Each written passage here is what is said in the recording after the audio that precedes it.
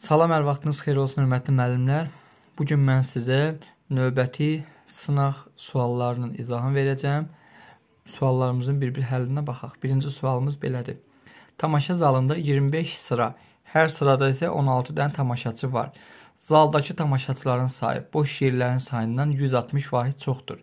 Tamaşaçı xanımlar kişilərdən 140 nəfər az olarsa, neçə nəfər xanım tamaşaçı var idi? İndi həllinə baxaq sualımızın. E, tamaşa zalındakı əvvəlcə biz görək nə qədər yer var. Bizdə 25 dənə sıra var və hər sırada da 16 nəfər tamaşaçı. Onda bizim e, zalda olan e, ümumi yerlərin sayı nə qədər olar? 25 vuraq 16. 25 dənə sıra var, hər sırada 16 tamaşaçı oturub. Eləyir 400 nəfər. Bizim 4 nəfər deməli tamaşaçımız var. E, indi zalda tamaşaçılarında gələnlərin sayı və boş yerlər də var. İndi onları baxaq. Boş yerlər və tamaşaçılar. E, zaldakı boş yerlərin sayı, bir də tamaşaçıların sayını verib bizə. Deyir ki, zaldakı tamaşaçıların sayı boş yerlərin sayından 160 vahid çoxdur. Deməli, onda boş yerlərin sayı olsun x, tamaşaçının sayı olacaq x plus 160. Bunların cəmi 400-dür. Çünki ümumi 400 yer var. Boş yerlər və tamaşaçı oturan yerlərin cəmi 400-dür. İndi buradan tənliyimizi quraq həll edək. x üstəgələ x plus 160 bərabərdir 400-ə. Buradan alınır 2x bərabərdir 240-a, x bərabərdir 120-yə. Bu 120 boş yerlərin sayıdır. Bəs e, tamaşaçılar sayı nə qədər olacaq? 120 üstəgələ 160 eləyəcək 280. Tapdı tamaşaçıların sayını 280. Deyək ki, indi tamaşaçı xanımlar kişilərdən 140 nəfər azdır. Onda xanımlar və yazaq kişilər. Xanımlar kişilərdən 140 nəfər azdır. Deməli, xanımların sayı olsun x, kişilərin sayı olacaq x plus 140. Bunlar tamaşaçılarımızdır bizim. Bunların da cəmi 280-dir. İndi yenə tənliyimizi quraq. x plus x plus 140 bərabərdir 280-də. Buradan alınır 2x bərabərdir 140-a. x bərabərdir 70-ə. Bu x bərabərdir 70. Xanımların sayıdır. Bizdən də e, xanımların sayını soruşurdu. Elə düzgün cavabımız 70 nəfər. D variantı. Kişilərin sayını sorsaydı 70 üstə gələk 140. 210 dənə də kişi olardı. İkinci sualımız belədir. Ata oğlundan 30 yaş böyükdür. Ata 3 il əvvəl, oğul 3 il sonra doğulsaydı, ata yaşca 5 dəfə böyük olardı. Oğlun 1 il əvvəl neçə yaşı var idi? Yazaq indi sualımızın həlli. Ata deyir ki, oğlundan 30 yaş böyükdür. Ona görə oğlun yaşını x-lə işarələyək. Atanın yaşını olsun x plus 30-dan. Ata deyir 3 il əvvəl, oğul 3 il sonra doğulsaydı, ata yaşca 5 dəfə böyük olardı. Ata 3 il əvvəl doğulsaydı, deməli atanın yaşı 3 vahid çox olardı. x plus 33. Oğul 3 il sonra doğulsaydı, oğlun yaşı indiki yaşından 3 vahid az olardı. Olardı x minus 3. Deyir ki, belə olanda bax e, ata oğlundan 5 dəfə böyük olacaq. Yəni atanın yaşı x plus 33 bərabərdir oğlun yaşı x minus 3 vuraq 5-ə. Buradan alınır. x plus 33 bərabərdir 5x minus 15-ə. Tənlik kimi həll etsək 5x çıxılsın x bərabərdir 33 üstə gələk 15-ə 4x bərabərdir 48-ə x bərabərdir 12 bu oğlun yaşıdır. Çünki oğlun yaşını biz x ilə işarələmişdik. Oğlun bir əvvəl neçə yaşı var idi? İndi 12 isə bir il əvvəl 11 yaşı olacaq. Düzgün cavabımız eləyir 11 yaş B variantı. Üçüncü sualımız düşərgədə olan 26 dənə turistin 4-ü həm rus, həm də ingilis dilini bilir. İngilis dili bilənlər rus dili bilənlərdən 2 dəfə çoxdur. Neçə nəfər yalnız rus dilini bilir? bunu çoxluqlar nəzəriyyəsinə əsasən həll edirik Euler-Venn diaqramı ilə. 2 dənə kəskin dairə çəkirik. Birinin üzərinə yazaq. İngilis. Birinin üzərinə yazaq rus. Yəni ingilis dili bilənlər, rus dili bilənlər. 26 nəfər də bizim turistimiz var. E, bu turistlərdən deyir 4 nəfəri həm rus, həm ingilis dilində bilir. Deyir ki, ingilis dili bilənlər rus dili bilənlərdən 2 dəfə çoxdur. Yazaq. İngilis və rus. İngilis dil bilənlər, rus dil bilənlər 2 dəfə çoxdur. Onda rus dil bilənlər olsun 2 ingilis dil bilənlər olacaq 2 qız. Amma biz bax bu hissəyə, dairənin bu boş hissəsinə yalnız ingilis dil bilənləri yazmalıyıq. İngilis dil bilənlərin sayı ümumilikdə 2x-dir.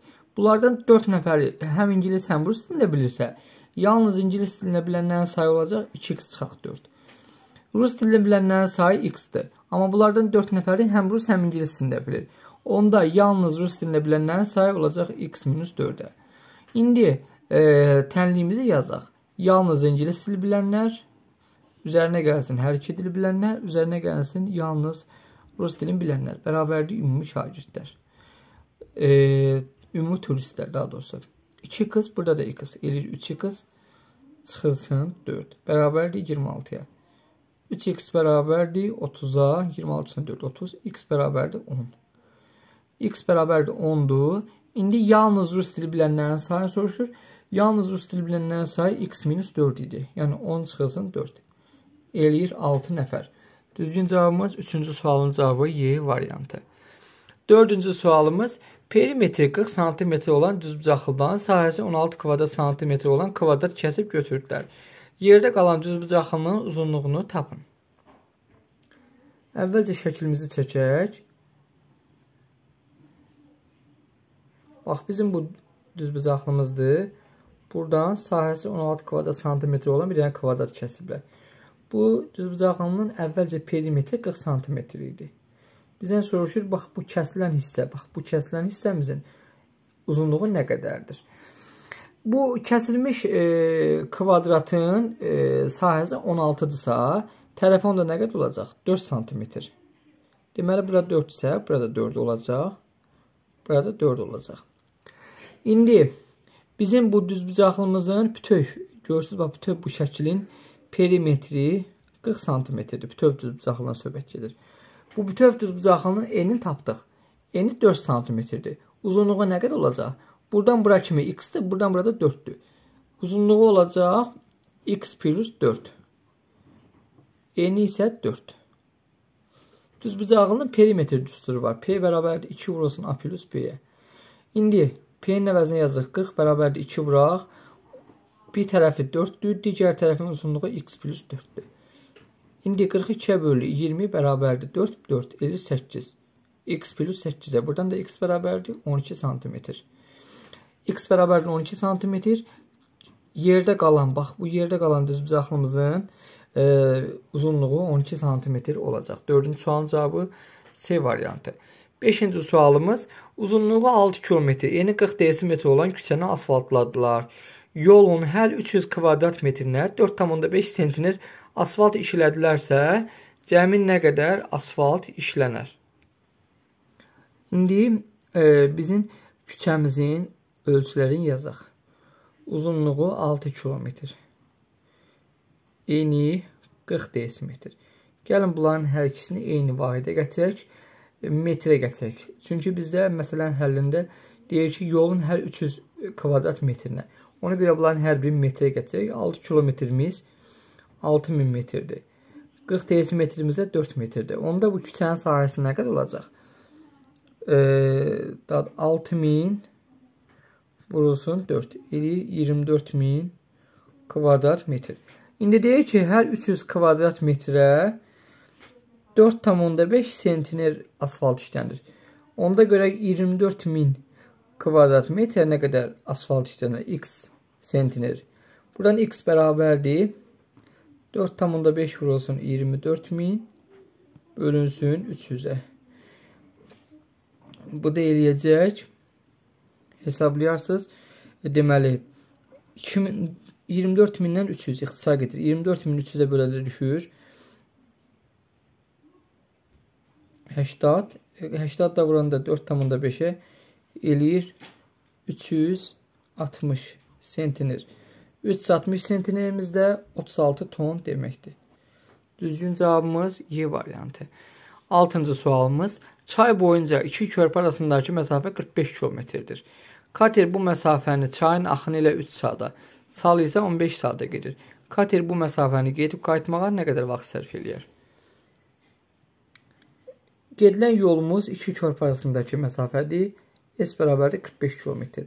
Kater bu məsafənin çayın axını ilə 3 saata gedirsə, onda katerin çayın axını istiqamətində olan sürətini tapaq.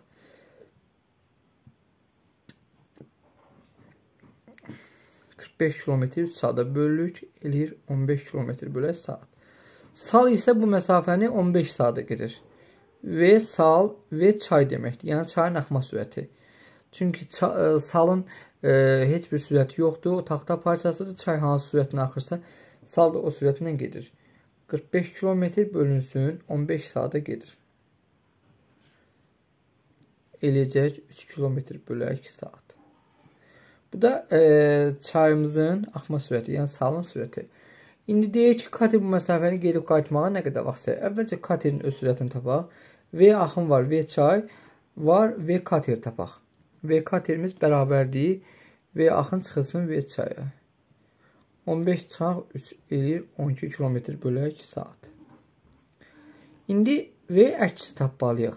Axın istiqamətindəki sürətimiz var, axına qarşı sürətimiz yoxdur. V əksi nəyə bərabərdir? Katerin sürətindən çayın sürətindən çıxırıq. Katerin sürəti 12-dir, çıxırıq çayın sürətinin 3-ü. Eləyir 9 km bölək saata. İndi yolumuz 45 kilometrdir. Bunu bölürük katerimizin əks istiqamətdəki sürətinə. 9 km bölək saata. Bu deyir 5 saat. Bu bizim katerimizin geri qaytarkən sərf elədiyi zaman müddətdir. Gedərkən də 3 saat vaxt sərf eləmişdi. Axın istiqamətində 3 saat, axına qarşı 5 saat. Deməli, gedib qayıtmağa nə qədər vaxt sərf edir? Cəmi 8 saat. Düzgün cavabımız 6-cı sual e, C variantı. 7-ci sualımız çevrənin eyni nöqtəsindən sürətləri 16 km bölək saat və 12 km bölək saat olan iki velosipedçi əks istiqamətdə hərəkətə başladılar. 3 saat sonra onlar 4-cü dəfə görüşdülər. Çevrənin uzunluğunu tapın. Yazaq, e, bir dənə çevrə çəkək. İlə təsəvvür ki, bu bizim çevrəvi yolumuzdur. Bunu uzunluğunu soruşur bizdən. İndi e, eyni bir nöqtəsindən çevrəni, bax deyək ki, bu eyni nöqtəsindən 2 dənə velosipedçi əks istiqamətlərdə hərəkətə başlayır. Birinin sürəti 16 km bölək saatdır. Digərinin sürəti 12 km bölək saatdır. Bunlar gəlirlər, görüşürlər. E, 3 saat Sonra dördüncü dəfə. 3 saat sonra bunlar dördüncü dəfə görüşürlər.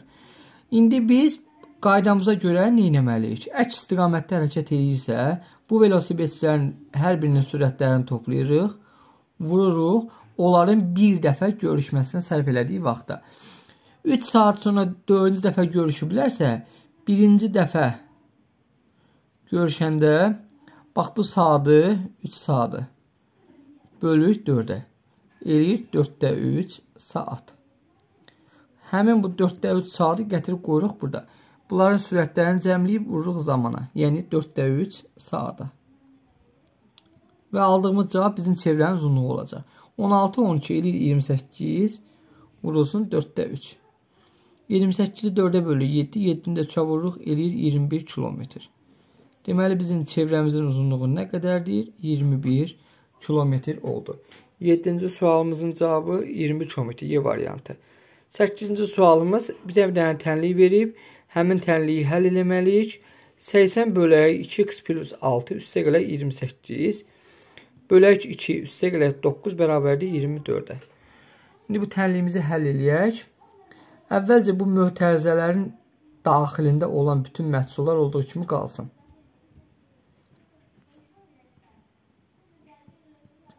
bərabərdir. Buradakı üstə gələk 9-u keçirdirik bu tərəfə.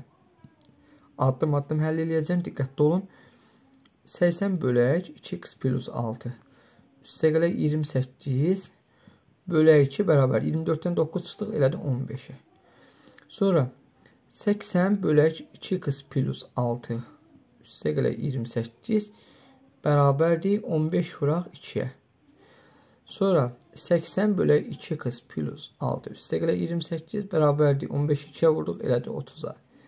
Buradan alınır 80 bölək 2x plus 6 bərabərdir 30-dan 28 çıxdı qaldı 2-yə.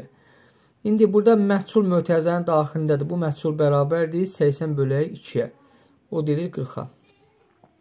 Alınır 2x plus 6 bərabərdir 40. 2x bərabərdir 40-dan 6 çıxdıq 34-ə. x də bərabərdir 17-yə. Düzgün cavabımız 8-ci sualın cavabı x bərabərdir 17. A variantı. 9-cu sualımız tacir bazardan aldığı köynələrin bir hissəsini 10 manatdan, qalanını isə 15 manatdan alıb 275 manat pul xərclədi. Sonra isə 10 manat aldığı köynələri 12 manata, 15 manata aldığı köynələri isə 18 manata satdı. Tacir neçə manat gəlir əldə etdi? E, tacir bazardan aldığı köynələrin qiyməti 10 manatlıqdır və 15 manatlıqdır. Bunların e, aldığı köynələrin ümumi qiyməti 10 manatlıq və 15 manatlığın ümumi qiyməti e, 275 manatdır. 10 manatlıqla 15 manatlığın aldığı köynələrin cəmi 27 dənədir. Bu 10 manatlıqların sayını biz x-lə işarə eləyək. 15 manatlıqların sayı olacaq onda 27 minus x. Məsələnin şərtində orada yaddan çıxıb tacir bazardan aldığı köynələrin 27 dənə köynəyin qeyd eləyəsiniz. Orada e, yazılarkən səhv olub. 27 dənə köynəyin bir hissəsini 10 manatdan alıb, qalanını isə 15 manatdan alıb. Deməli, 10 e, manatlıq, 15 manatlıq köynələrin cəmi 27 dənədir. Onda 10 manatlıqların sayını biz x-dan işarələsək, 15 manatlıqların sayı olacaq 27 minus x-ə. Və köynələrə ümumi bu tacir 275 manat pul xərcləyib. İndi tənliyimizi quraq. 10 manatlıq köynələrin sayı x-dır. Hər birinin qiyməti 10 manatdır. Ümumi dəyəri olacaq 10x. Üstə gələk 15 manatlıqların ümumi dəyəri 15 vuraq 27 minus x. Bərabərdir 275 manata. Tənliyimizi həll eləyək. 10x üstə gələk 15-i vururuq 27-yə. Gəlin 15-i vuraq 27-yə.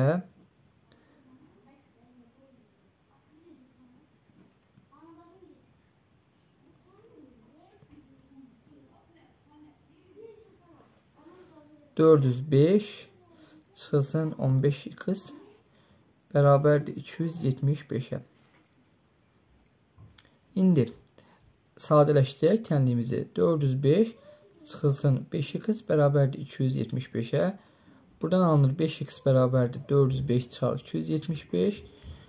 Buradan da 5x bərabərdir 130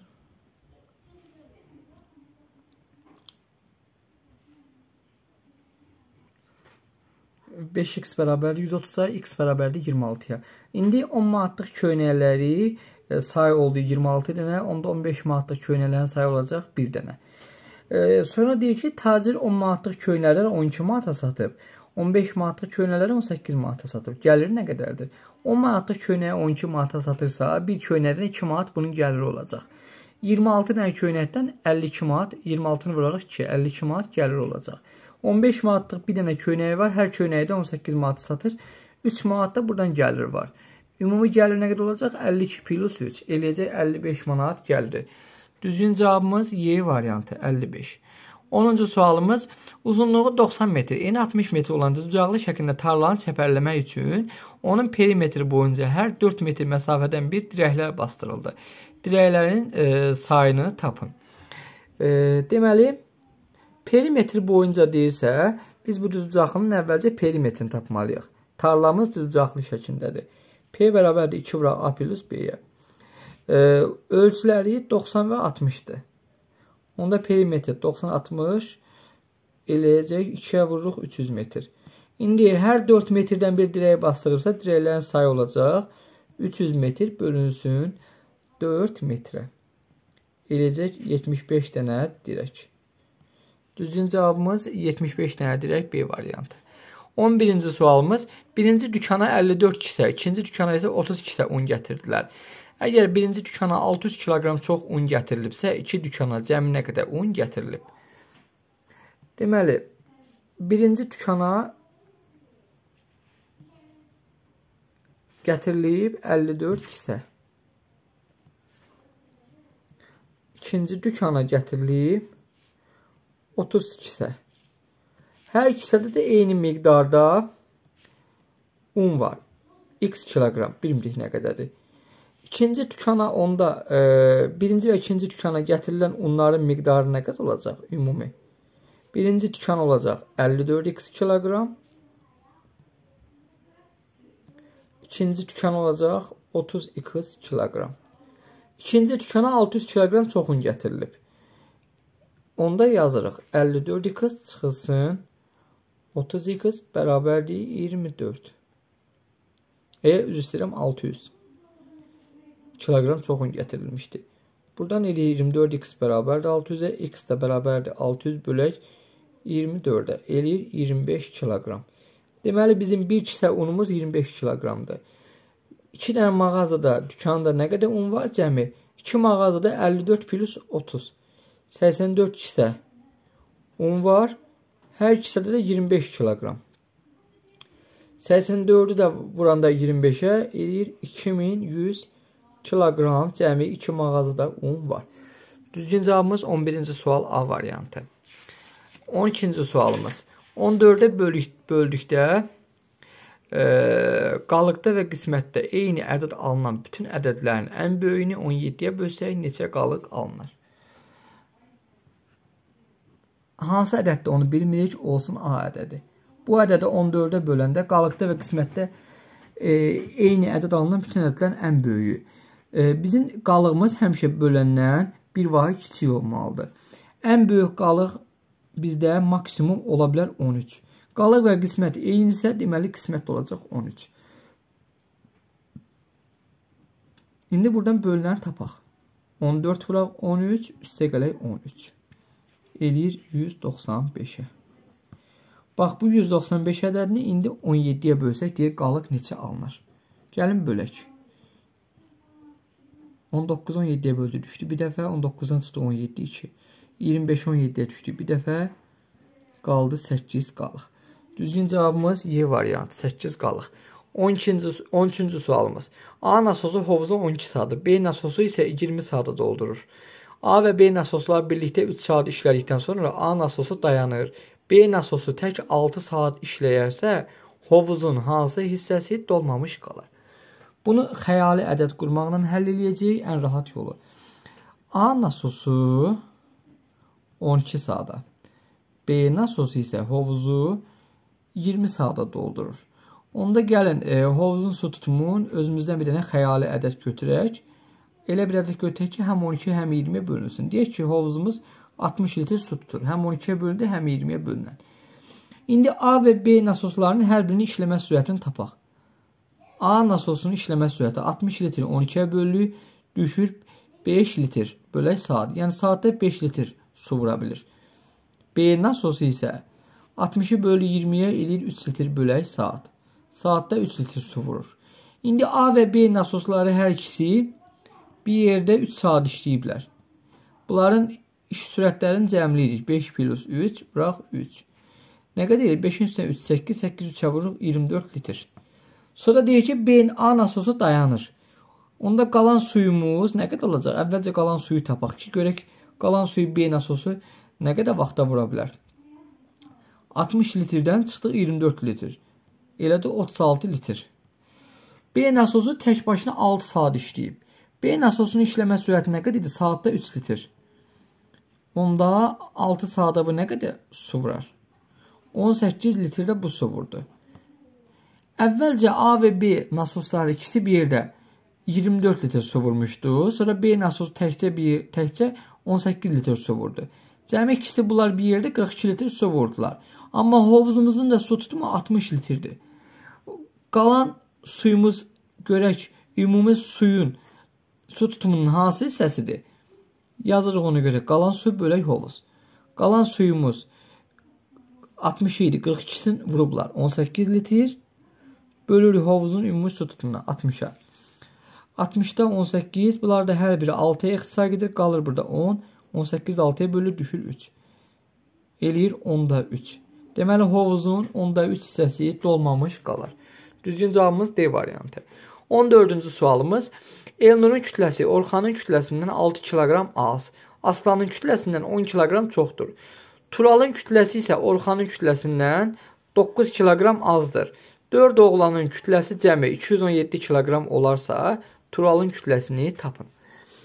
İndi əvvəlcə oğlanların hər birinin kütlələrini tapmalıyıq biz.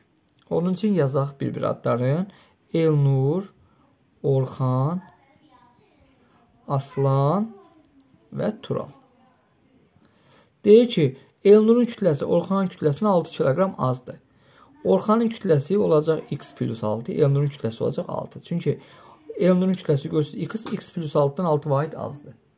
Sonra Turalın kütləsi Orxanın kütləsindən 9 kiloqram azdır. Turalın kütləsi bax Turalın kütləsi Orxanın kütləsindən 9 kiloqram azdır.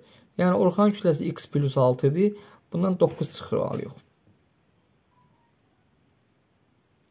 Eləcək x minus 3 kiloqram.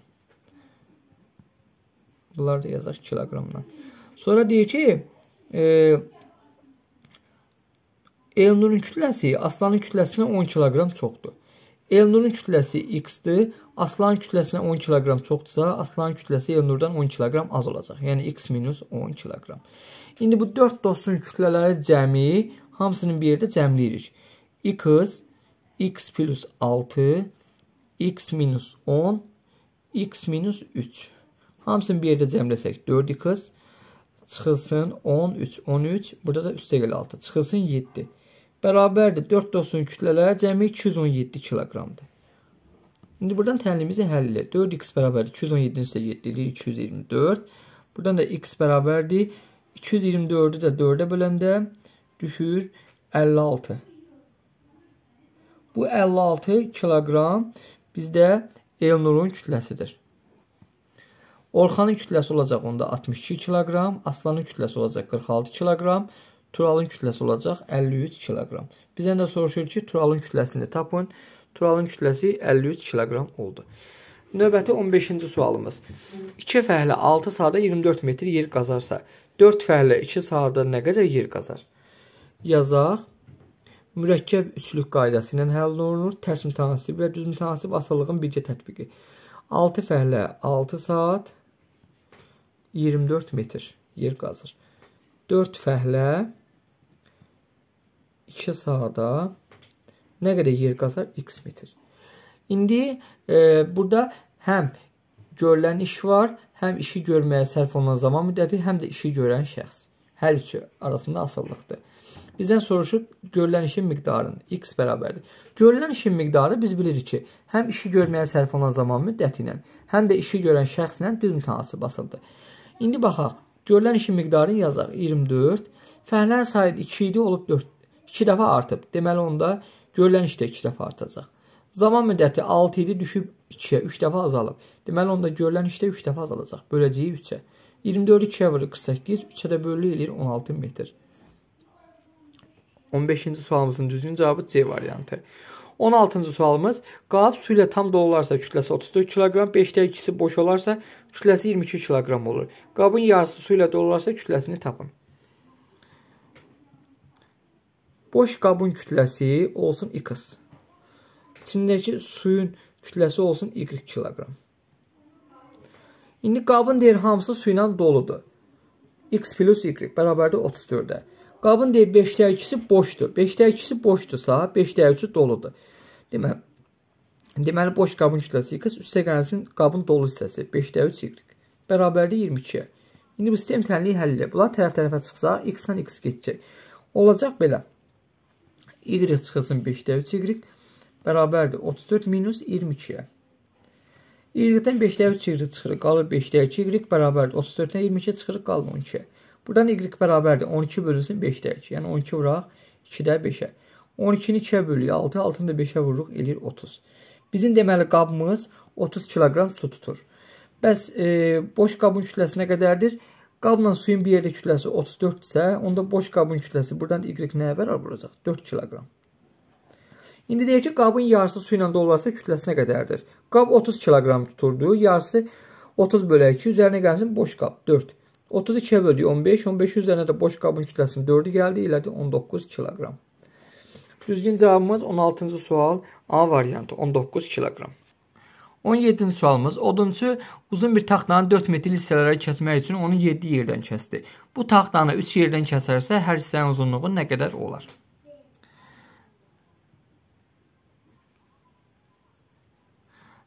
Taxtanı 4 metrli hissələrə kəs kəsəndə 7 yerdən kəsir. 7 kəsim bərabərdir 8 hissə deməkdir.